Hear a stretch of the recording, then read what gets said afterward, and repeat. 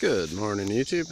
I wanted to show you guys this um, dragon fruit. So this poor little thing is sitting in a tiny little pot for about three years, I'm gonna guess. And here's some of its uh, older leaves. And I threw it in this uh, big terracotta pot and put in some rotten leaves at the bottom to about there, like I usually do. And then the rest is about 20 liters of worm castings of, of compost. And as you can see, it's quite happy. This is this is all new growth in like two weeks.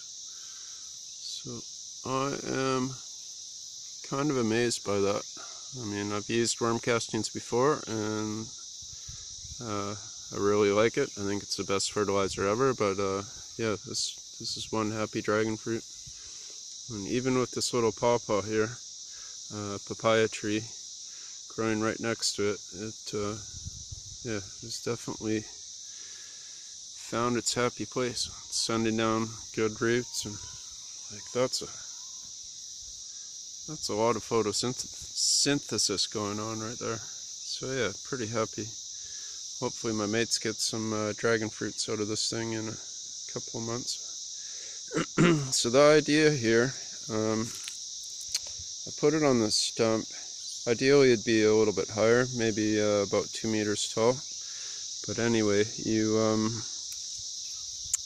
if you do dragon fruit this way, uh, when the branches hang down, um, how do I explain this? The branches need to be at a certain angle for uh, dragon fruit to set fruit, for it to flower and set fruit. So uh, this is kind of a shortcut. You know, usually you grow dragon fruit up a trellis, and then you need to wait for it to grow up the trellis and hang down. Uh, this way, the branches can just kind of hang off the pot, and uh, it's probably not high enough. Probably the possums will grab a whole bunch of them, but um, yeah, just giving it a go. We had this pot laying around, so thought why not. Anyway, that is worm castings and a very happy dragon fruit. Alright guys, have a great day. Smash like, subscribe.